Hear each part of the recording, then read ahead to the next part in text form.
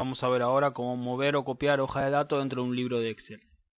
La primera forma va a ser haciendo clic sobre la pestaña de la hoja, arrastrando con el botón izquierdo, sin soltar. Cuando llego al destino suelto entre la hoja 2 y 3. Aparece la, eh, la hoja precios movida entre la hoja 2 y 3. Si hago el mismo, la misma acción, pero presiono la tecla control, van a que se pone un signo más, lo que estoy haciendo es haciendo una copia de la misma. Como no puede haber dos hojas con el mismo nombre, pone precio sub 2.